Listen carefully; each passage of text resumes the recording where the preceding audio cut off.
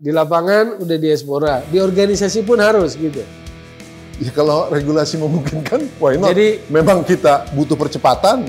Jadi prinsipnya daripada nanam pohon mendingan beli buah impor aja. Ya sementara lah, sementara. Sementara sampai kapan? Hah? Sementara Ya namanya kapan? sementara diputusin aja periodenya sampai kapan.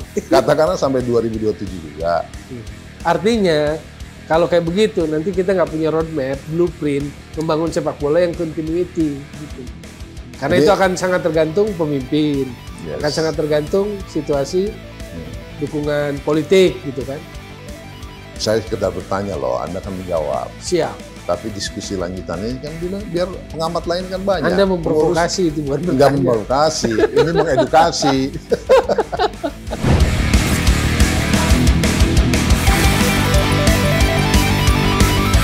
Podcast di Toel kali ini akan mengangkat topik tentang Final Championship Series Liga 1 BRI, juga tentang timnas sepak bola putri yang memprihatinkan.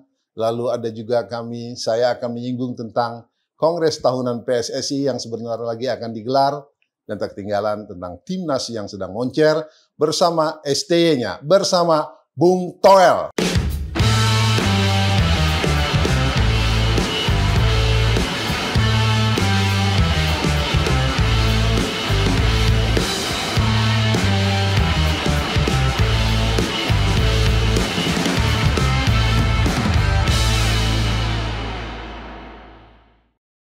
Bung Toel, terima kasih sudah hadir. Sama-sama Aman-aman aja kan? aman dong. Aman lancar jaya. Gimana, mobil udah ganti belum? Belum. Hah? Belum. Belum Alphard? Iya, padahal udah difitnah mafia tapi belum ganti. Ya kalau Anda ke sini bawa Alphard, saya curiga Anda pasti mafia bola. Tapi kalau masih pakai mobil di bawah harga 250 juta, Anda ya Anda gitu loh. Oke, well, kita sekarang yang pertama mau ngomongin tentang Final Championship Series Liga BRI 1. Nah ini luar biasa, keren. Madura United bikin kejutan. Ya, Catatan Anda.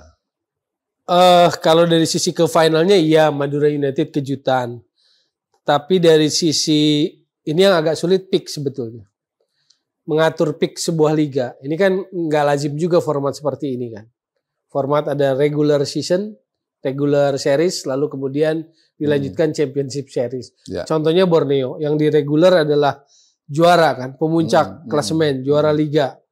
Tapi di per, tujuh pertandingan terakhir atau enam pertandingan terakhir kalah, kalah terus gitu. Hmm. Jadi ketika tim gagal mempertahankan haus menang, intensitas, fokus, apa pun lah ya, level permainan yang pernah dia punya, drop. Dia ambil ambil apa namanya? Ambil akibatnya di Championship Series. Madura, Madura kan Borneo peringkat pertama, Yes. Persib peringkat dua, Betul. Bali peringkat tiga, Madura peringkat empat. Oke. Sekarang ya, makanya saya bilang ada yang bilang juga membuat kejutan Madura United ini. ya, Kenapa tidak Borneo gitu loh, ya, ya kan? Tapi Persib juga sebagai tim yang layak untuk ada di final. Kemudian ada juga Bali United, ya, dan juga dia kan jawara juga di situ. betul. Nah, catatan perjalanan dari keempat tim ini tentunya banyak yang sudah tahu. Tapi bahwa kemudian mereka ada di Champion Series ini, ini Mhm. kan boleh dibilang improvement lah dari eh, PT Liga, Liga Indonesia baru menggelarnya seperti ini. Mhm. Saya anggap sih itu sebuah hal yang wajar. Jadi nggak sekedar mengumpulkan poin kan, juara ditentukan. Tadi kan Anda bilang aneh, sebenarnya nggak aneh juga, well. Boleh-boleh aja kan? Bukan soal boleh tidak boleh. Nah, Dari sudut pandang sepak bola, ya kompetisi liga ya harusnya liga aja. Begitu jadi dikasih based on point aja gitu. Iya, kan seperti itu lazimnya. Semuanya begitu. Semua liga top dunia itu kan begitu. Emang belum pernah kita kayak begini? Pakai ada Ya pernah, Championship Series kan pernah. pernah. Tapi nanti kan kaitannya kan ke level di Asianya. Hmm. Makanya kan dalam dalam penentuan yang ke Asia apa Liga Champion Asianya kita mas- masih di level 2 tuh. Oke.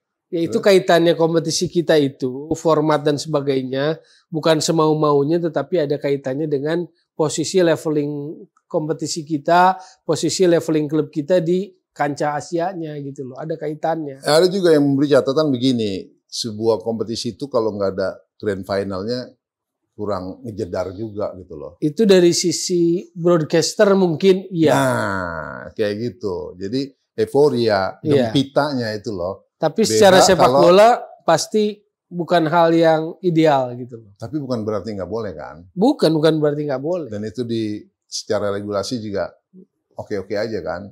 Ya regulasi makanya picknya itu agak sulit. Borneo yang juara nyungsep kan, nggak lolos ke final gitu loh. Maka seolah-olah tahun ini juaranya ada dua kan.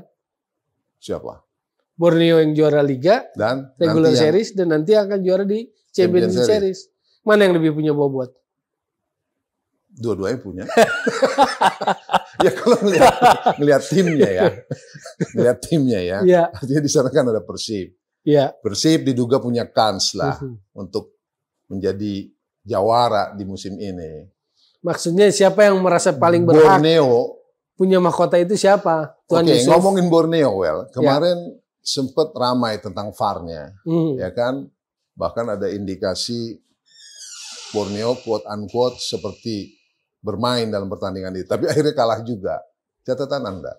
Begini, Hmm. untuk yang paham bola, untuk yang merindukan kompetisi kita sehat, integritas sepak bolanya ditinggikan, Hmm. karena bukannya itu juga adalah apa ya niat dari ketum PSSI Erick Thohir kan bersih-bersih, Hmm. lalu mau investasi VAR yang sangat luar biasa.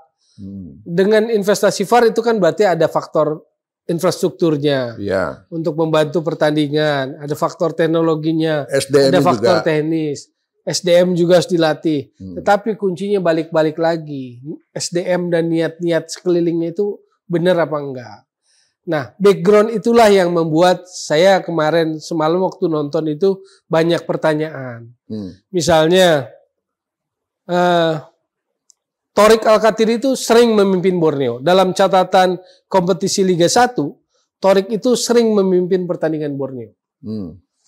Nah, jadi maksud saya itu adalah sesuatu sesu- eh, sesuatu fakta yang nanti bisa menjadi tendensius ketika Torik ada di pertandingan yang menentukan seperti semalam. Hmm. Semalam itu kan pertandingan leg kedua semifinal antara Borneo melawan Madura di Batakan. Hmm. Torik memang tidak jadi wasit tengah, Hmm. tetapi jadi wasit VAR. Oke. Oke.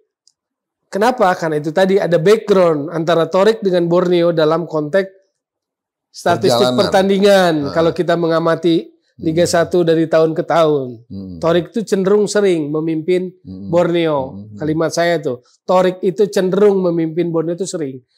Dan jarang Borneo itu kalah kalau Torik yang pimpin. Itu juga fakta lain. Ada masalah apa dengan penggunaan VAR kemarin? Nah, sekarang begini, wasit tengahnya anak baru. Wasit baru yang Kabarnya usianya masih sangat muda. Wasit yang baru musim ini promosi ke Liga 1. oke. Sekarang pertanyaan logikanya beresiko enggak? Wasit yang kurang pengalaman, Hmm. wasit yang bukan wasit senior memimpin pertandingan menentukan antara Borneo melawan Madura. Hmm. Pure sepak bola ini. Saya bukan fans Borneo, saya bukan fan Madura gitu loh. Ana- Sabodo Teing lah kalau ini, saya ini, itu. ini analisa ya, Iya, karena anda melihat ada kejadian penggunaan karena ada banyak background yang kita tahu kan. Ah. Seperti tadi Torik, Hmm. Sekarang wasit tengahnya kok wasit anak muda yang belum pengalaman, masih hangat hijau. Kenapa di. Contoh pertandingan? keputusannya adalah Nah, misalnya contoh, enggak sebelum ke situ dulu. Ah. Wasit keempatnya, vote officialnya Hmm. Yudi Nur Cahya. Hmm, Dia wasit senior, FIFA juga, hmm, seangkatan Torik. Pertanyaan sederhananya, kenapa enggak Yudi Nur Cahya aja yang jadi wasitnya? ada kekhawatiran anda wasit muda yang memimpin ini wasit utama ya. Iya, di- pertandingannya menentukan. Didikte oleh yang Enggak, yang pertama semua. bobot pertandingan satu. oke. Kedua faktor Torik itu yang posisinya di VAR, background Ya, kan Torik. jauh senior kan? Ya, kan berarti kan ke- kemungkinan-kemungkinan itu akhirnya berkembang. Nah, misalnya apa pertanyaannya di di pertandingan itu? Kenapa di menit kedua Torik nggak ambil VAR di situ? Ini masalah patut dan perlu si wasit utamanya ini. Iya, Patut nggak dia memimpin pertandingan Iya. sekelas itu? kan kita bicara bobot, bobot Perlu pertandingan. nggak seorang Torik yang senior adanya di VAR bukan utama gitu kan? Ya nggak apa-apa Torik jadi VAR, tapi kemudian menjadi makin pertanyaan karena Torik punya relatif statistik, dia kecenderungan mimpin Borneo itu termasuk sering. Ya kan kemarin nggak mimpin. Iya, VAR kan. Hmm. Yang ditaruh di tengahnya anak muda hijau tuh. Iya. Ya kan itu juga menimbulkan pertanyaan. Kalau kita makanya niatnya ingin sepak bola kita bersih. Setelah semua perangkat disiapin, VAR disiapin, teknologi disiapin. Orang lebih. Pertanyaannya kenapa nggak Yudi Nur Cahya gitu loh. Yang sebelahnya wasit cadangan Oke. di pertandingan berbobot menentukan semua tim ingin lolos ke Ini- final. Ini Anda mencoba mengkritisi ya. Iya, Ya walaupun pada akhirnya Borneo juga kalah. iya. Kenapa nggak Yudi, Nur Cahya gitu? Hmm. Yang wasit senior punya lebih pengalaman dibandingkan wasit tengah kemarin gitu loh. Ini pertanyaan, Noval atau siapa namanya lah? pertanyaannya tentu untuk komisi wasit ya. Iya dong. Dalam Siapa yang nugasin mengatur. Nah, Ah, saya dapat info katanya Jimmy Napitupulu yang nugasin gitu loh. hmm. Itu kan Memang- pertanyaannya. Memang kalau dia yang nugasin kenapa? Ya kita pun kan paham-paham juga gitu loh perjalanannya semuanya gitu loh. Jadi mau ada perangkatmu apa, mau nggak belajar detil pada setiap itu, mau nggak belajar berhati-hati gitu loh. Oke, saya nggak Kan mau itu berasumsi. aja satu kan. Yudi Nur Cahya jadi wasit cadangan, kenapa nggak dia yang mimpin aja?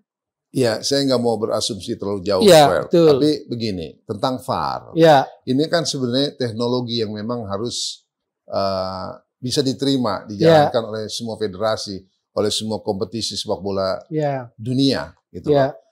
Nah, kadang-kadang berpikir begini, siap nggak orang kita, sepak bola kita menerima itu? Nah, Pertanyaannya kayak begitu kan? sejauh ini menurut Anda bagaimana? Dari pengalaman di Piala Asia, timnas siap kalau itu menguntungkan keputusannya. Kalau timnas, Ya, publik kita siap kalau keputusan VAR itu menguntungkan. kalau merugikan, Ah, tidak siap lah. yang nggak siap kan netizen aja, Tom. Hah? Yang nggak siap netizen. Termasuk kok pelatihnya aja kartu merah segala Oh. macam tidak siap kan? Oh gitu. Oh, Iya dia juga dong. melakukan protes ya. Iya. Jadi artinya tentang VAR ini memang selalu akan menjadi polemik. Betul. Sekarang kita Tapi mau konsekuen. terlalu dini karena di liga kita pun baru digunakan, Tom. Iya, baru di Champions Series, bukan di Ah, Liga, ah. di Champions Iya, di, Series. di Champions Series ini yang Iya. benar-benar fix ya. Mungkin musim depan baru uh, selanjutnya seterusnya lah untuk semua pertandingan. Terlalu Kalau dini sebetulnya juga. kalau lihat keinginan, keinginan VAR itu kan keinginan publik juga kan, publik bola kan. ya itu banyak mayoritas menginginkan. Maka sebetulnya keputusan VAR adalah keputusan yang diinginkan oleh publik bola Indonesia kan. Karena ketidakpercayaan pada keputusan wasit di tengah dengan berbagai dinamika di belakangnya kan begitu. Jadi Contoh pengalaman- kemarin aja yang menit kedua, kenapa nggak ambil VAR itu? Yang waktu Malik Rizaldi dijatuhkan di area penaltinya iya, iya. eh, Borneo ya. Hmm, hmm. Saya bingung kenapa Torik nggak ambil VAR juga di situ untuk ngecek ulang misalnya, nggak ada tuh. Ya, saya juga based on pengalaman nih ke lapangan ya, Hmm. waktu siaran sepak bola selama sekian belas tahun gitu loh. Artinya memang ini faktor supporter juga sangat menentukan. Mhm. Saya sampai wanti-wanti ke dirut eh, operasional Liga Asep, Pak Asep, bahwa hati-hati nanti itu mobil VAR lo, sistem VAR-nya dia tuh yang berupa Ovivan itu bisa diamuk supporter kalau mereka nggak puas dengan keputusan VAR.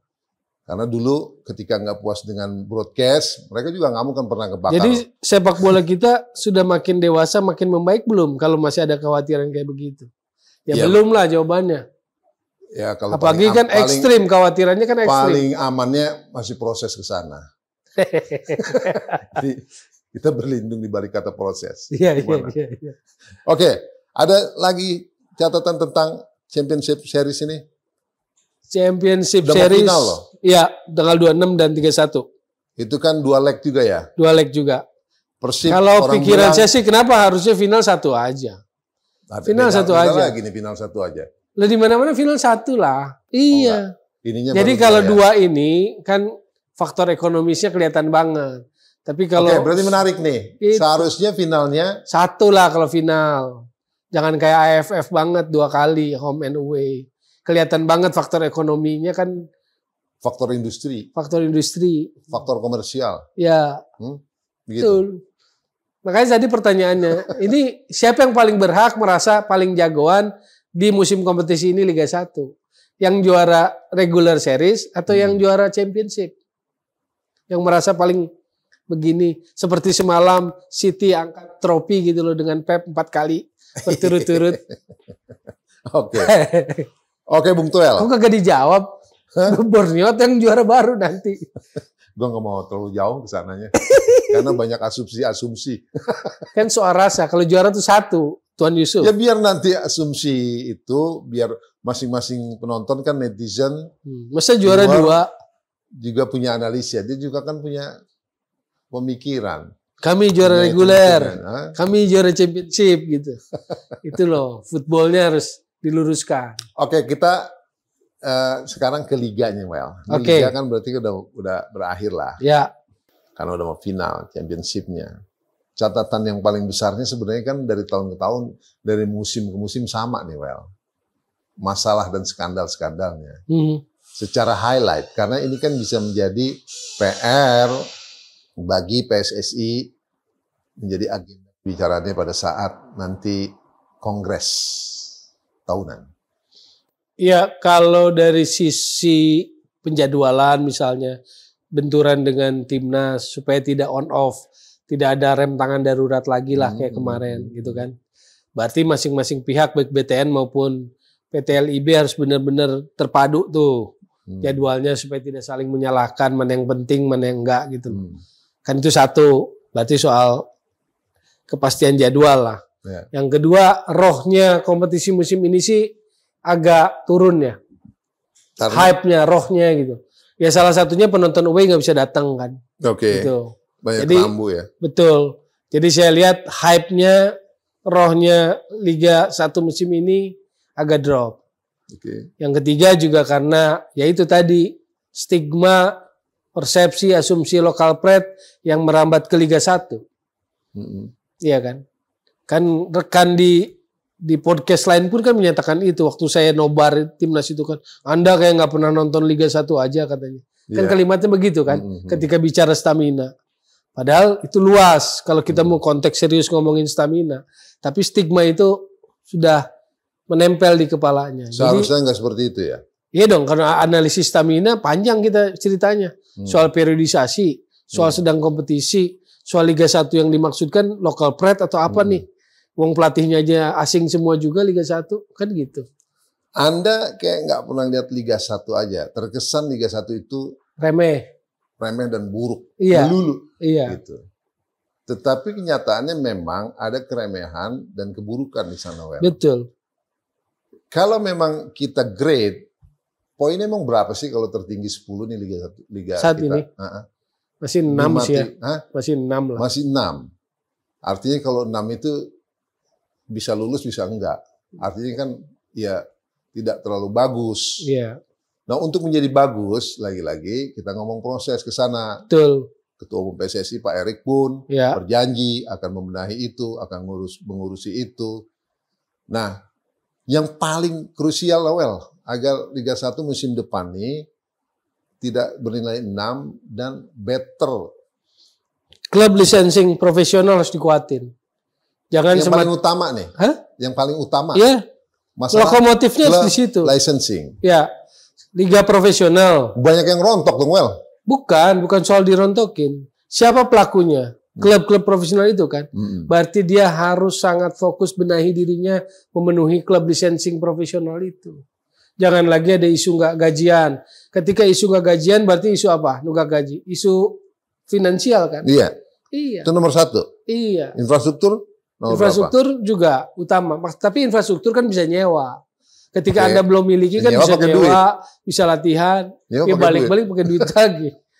Gitu. Kemudian ada juga tentang Jadi kalau harus, itunya profilnya makin membaik, harusnya profil kompetisinya makin membaik. Belum nanti masalah akademinya. Belum nanti itu kan sporting. Nah, ya selama ini pun kalau atasnya megap-megap gimana boro-boro yang bukan lapis bawah kan? Licensing juga mensyaratkan itu. Betul, aspek sporting namanya. Dan lagi-lagi duit. Ya iya kalau yang di atasnya aja masih megap-megap gimana Anda siapin lapisan kelompok umur di bawahnya? Oke, masalah klub lisensi menjadi syarat utama. Ya, itu rohnya. Untuk Jadi, sebuah kan pertanyaan tadi, apa yang harus diperbaiki? Hmm. Klub ayo dong, jadi profesional sesungguhnya. Toolnya apa? Klub licensing toolnya. Berikutnya apa? Integritas sepak bola. Apa itu? Yaitu pertandingan-pertandingan, permainan-permainan yang begitu menimbulkan banyak pertanyaan. Kenapa sih ini? Kenapa sih ini? Kenapa itu nggak VAR? Kenapa yang menit ini VAR gitu kan? Wasit dong. Iya, wasit, SDM. Tapi di luar itu adalah faktor-faktor non teknis football, non teknis football itu. Hmm, hmm. Jadi soal perilaku, perilaku yeah. perilaku kotor, gitu, perilaku perilaku nggak pantas. Ya, ya. ya ini kan niatnya ada kan. Ketua umum kan jadi ketua komite wasit. Sekarang hmm. pertanyaannya orang-orang dipercaya jalanin nggak dengan benar? Kan ah. itu kalau ngomongin ketua umum dan orang-orang yang dipercaya, ini korelasinya nanti dengan kepengurusan organisasi. Karena balik-balik ke dia lagi, Su. Sebagai ketua umum, sebagai pemimpin tertinggi. Nah, Sekarang kan, soal ini, kompetisi hmm. integritas, kan bukan cuma Liga 1, Liga 2 aja. Liga 3 termasuk. Iya. Apalagi ini sebetulnya kalau yang baca dari kemarin pun udah kebaca 32 besar. 16 besar ada ada tiga klub yang dipegang oleh satu orang exco katanya. Nah kan. itu juga tuh menjadi berita iya tersendiri. Dong. Sementara sebelumnya di awal kepengurusan bikin satgas anti mafia bola kan. Itu nggak patut nggak patut itu ya? Nggak patut. Kalau secara statutanya atau secara aturannya adalah cross ownership uh -uh. di satu level pula itu. Yang kedua adalah secara politik organisasinya tiga suara dia pegang. Bagaimana itu bisa terjadi menurut anda? Ya itu ketidakpatutan lah, tidak etik lah. Ya masalah integriti iya, juga. integriti. Maka penegakan hukumnya harus kuat. Nah ini terjadi harusnya itu di ada komite etik, ada komite disiplin. Komite etik harus turun tangan. Iya dong, karena ini menetapkan, si, menentukan. Si oh yang memimpin tiga klub itu exco posisinya. Itu. Saya pikir tadi itu sebuah prestasi, well hebat eh? banget nih orang. Nggak soal kepatutan, soal hmm. etik. Pantas tidak pantas gitu kan.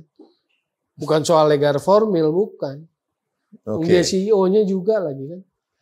Nah kemudian Bung Tel, ini kan mau munas. Kongres eh, tahunan. Kongres. PSSI akan kongres tahunan. Tanggal 10 lagi. Juni. Banyak tentu yang dievaluasi segala macam. Nah, salah satu ada isunya ini bagaimana compang campingnya sepak bola putri kita. Kira-kira akan menjadi agenda juga enggak? Di, itu akan di BTN harusnya, tetapi hmm. apakah itu akan jadi agenda utama saya nggak yakin. Karena ini kongres tahunan. Kongres tahunan biasanya laporan pertanggungjawaban performa selama satu tahun, hmm. lalu uh, laporan keuangan satu tahun, hmm. lalu rencana kerja satu tahun ke depan, hmm. dan mungkin ya perubahan-perubahan di aspek organisasi. Jadi kalau di aspek organisasi, gosip-gosip yang dengar nah. akan ada perubahan akan ada replacement orang atau yes. bagaimana? Yes, itu yang saya dengar gosip-gosipnya. Apakah akan kejadian atau tidak bertepatan dengan kongres tahunan yang kita tunggu 10 Juni? Emang orang-orang yang mana? Yang saya dengar hmm. posisi sekjen yang sepertinya akan diganti dan ini, memang menurut saya sih wajar. Ini bocor halus atau bocor apa ini? Bocoran bocor halus, halus saja lah. Oke, okay, terus? Kata, iya, karena memang kan udah satu tahun lebih juga. Jadi kalau itu toleransi juga sudah diberikan lah hmm. uh, dari ketua umum kepada posisi hmm. itu. Hmm. Pada dasarnya kan memang bukan orangnya ketua umum. Sementara sekjen itu kan rata-rata adalah orangnya ketua umum. Iya, karena itu prerogatifnya dia. Iya, privilege-nya ketua umum. Sekjen tuh dari tenaga profesional asing mungkin nggak sih Tom? Sekjen tenaga profesional asing mungkin saja. Secara regulasi bisa kan? Bisa. Misalnya bisa saja. Pak Erik manggil sekjen dia dari Belanda, dari Jepang. Cuman belum pernah terjadi loh. Belum pernah terjadi kalau uh, operator liga masih lebih make sense. Dirut liga maksudnya? Yes, ya atau direktur-direktur di liga. Ya itu sih lah. sebuah perusahaan lazim lah. Ya, ya itu, itu sih sangat mungkin kalau itu. Oh seru juga ya, sekjen profesional asing tenaga asing. Memang nggak ada nggak ada lagi. Hah? Kok bapak pikirannya? Ya mumpung semuanya. Seolah-olah nggak ada orang kita yang sanggup Diaspora jadi banyak sekjen. bos. Masih jadi sekjen nggak sanggup apa kita? Kita nggak tahu kan di sana ada yang sekolah manajemen football diaspora. Bapak aja diaspora bisa jadi sekjen. semuanya. Oh gitu ya. sekjen, diaspora, dirut liga, diaspora. Why not? Ini satir apa? Apa Hah? ini? Ya kalau boleh regulasinya semua orang kan based on regulasi. Hmm. Jadi mendingan Sekarang beli menurut Anda sebentar. Bung Toel. Ya. Kalau kejadiannya kayak begitu. Kita membangun sepak bola, kan bukan yang di lapangan ada saja. Ada membangun, ada membentuk. Bentar. Kalau membangun jangka panjang, membentuk Tahu. tuh shortcut, Tahu. akselerasi lah Anda bilang. Iya. Makanya mentang-mentang ada buah impor beli aja buah impor gitu, nggak usah tanam buah pohonnya. Enggak, ini gua kan. Jadi kan membangun sepak bola itu bukan cuma yang di lapang, tapi yang Mm-mm. di organisasi pun dibangun. Hmm. Gitu loh. Ya dibangun lah kalau ada Tapi potensi. sekali lagi, secara regulasi, kuat. secara regulasi kan boleh, Ya, bisa. saya tidak membaca itu di statuta nggak boleh. Saya tidak membaca itu. Karena Bahwa- posisinya profesional. Sekjen dari profesional asing dari Nggak, luar disebutnya atau profesional, posisi profesional. Jadi entah itu dari asing atau apa, nggak ada larangan, nggak ada larangan tuh. Ya, boleh kita cek lagi sih. Tapi menarik juga kalau sekjen orang asing ya. Atau ya diaspora lah kalau bahasa sekarangnya. Atau naturalisasi. kalau ada. Begitupun di Root Liga. Di lapangan udah Om Peri Paulus maaf ya, ini lagi diskusi. Terus di lapangan udah diaspora, di organisasi pun harus gitu. ya kalau regulasi memungkinkan, why not? Jadi Memang kita butuh percepatan. jadi prinsipnya daripada nanam pohon mendingan beli buah impor aja. Ya sementara lah. Sementara. Sementara sampai kapan? Hah? Sementara Ya namanya kapan? sementara diputusin aja periodenya sampai kapan. Katakanlah sampai 2027 juga. Hmm. Artinya kalau kayak begitu nanti kita nggak punya roadmap, blueprint membangun sepak bola yang continuity gitu loh. Karena Jadi- itu akan sangat tergantung pemimpin, Yes. akan sangat tergantung situasi Hmm. dukungan politik gitu kan. Saya sekedar bertanya loh, Anda kan menjawab. Siap. Tapi diskusi lanjutannya kan bilang biar pengamat lain kan banyak. Anda memprovokasi itu bukan Pengurus- Enggak bertanya. memprovokasi, ini mengedukasi. well, Ya, kalau kita dalamin lagi panjang. Sekarang saya mau tanya tentang sepak bola putri nih, Well. Ini Ya. bagaimana baiknya? Karena kalau nggak salah waktu Anda jadi pengurus PSSI, ya. pernah bersinggungan dengan sepak bola putri. Kalau nggak salah Piala Pertiwi ya. G- Gimana ceritanya gimana? Dulu, background Hmm. Jadi- dulu. Background. Ah. Dulu kan pernah ada sepak bola perempuan tuh, Mm-mm. putri. Lalu kan vakum panjang. Hmm. Waktu saya melayani PSSI 2014, saya hidupkan lagi Hmm. pakai nama Piala Pertiwi. Hmm. Waktu itu antar provinsi aja. Hmm. Kenapa antar provinsi? Saya mau dorong asprof-asprof itu untuk fokus membina lagi sepak bola putri di Hmm. wilayahnya masing-masing. Hmm. Maka waktu pertama 2014 itu ada 10 kalau nggak salah provinsi yang ikut. Hmm. Untuk sebuah gebrakan awal oke lah. Itu Tapi tahun saya pikir berapa ya? 2014, 14 ya. Oke. 13 14 ya. Kayaknya Ya, antara 14, itulah. 14 15 deh. Enggak, 15 kan udah pembekuan. Oke. Eh, empat 13 atau 14 lah. Jadi setelah itu sih eh, event itu bergulir, tapi apakah eh, apa continue reguler Hmm. saya nggak tahu Hmm. gitu loh. Tapi event itu sudah pernah ada, trofi segala macam sudah Iya. pernah ada. Lalu waktu itu juga di jaring kita ikut piala AFF Women ya senior ya di AFF. Vietnam dari dari event itu. Hmm. Ah, tapi waktu itu kita dorong Asprof Hmm. supaya Asprof kirimkan tim Hmm. antar apa atas nama daerahnya Jawa Barat, DKI, Jawa Timur, Jogja, Papua. Hmm. Nah, sekarang apakah itu dijalankan dengan reguler, konsisten? Saya, Hmm. saya nggak tahu kan gitu. Kedua, selama nggak ada akarnya, pembinaan di bawahnya sulit. Atau seperti anda lagi jalan keluarnya, diaspora lagi, Ya bisa-bisa aja. Pelatihnya kan ada asing. buah impor Jepang. lagi, ambil aja gitu. Gara-gara kemarin kalah 07, 06 gitu ya. 9. Iya. Berarti fatalis kita kalau jadi orang kayak gitu. Begitu kalah begitu, beli buah impor, fatalis. Kita jadi orang-orang yang fatal. Jangan ngomong fatalis dulu. Siap. Sepak bola putri lagi.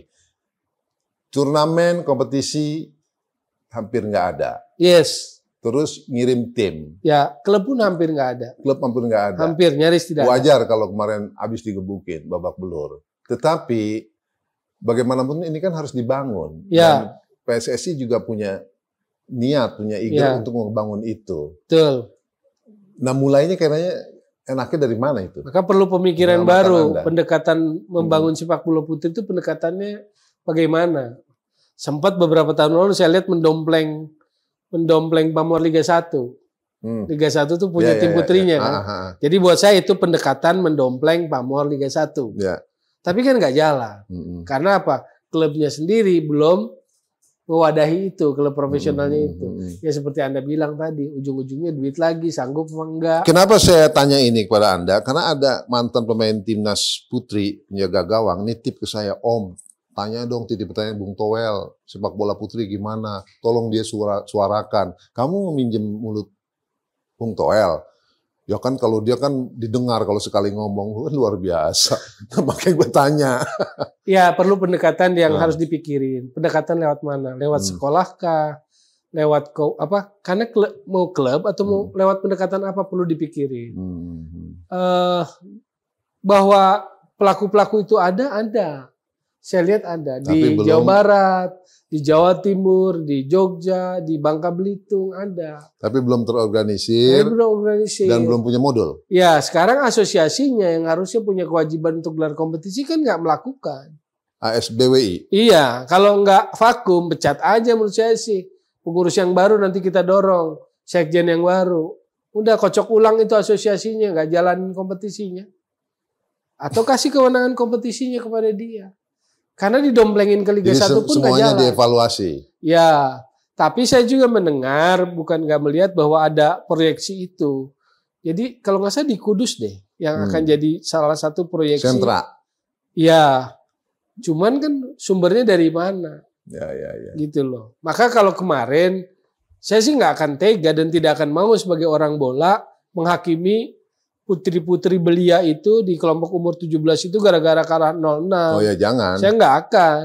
Karena justru kasihan mereka sih. Mereka yang Iya. jadi bulan-bulanan karena apa? Karena kesalahan kita. Orang-orang dewasa yang katanya ngelola bola tapi nggak kasih apa tanah yang subur buat mereka. Iya wajar kalau Iya lalu di, di- mantan mereka pemain di apa? timnas itu titip pesan. dipertandingkan kan, dipertandingkan kalah lalu seolah-olah mereka yang hina, bukan.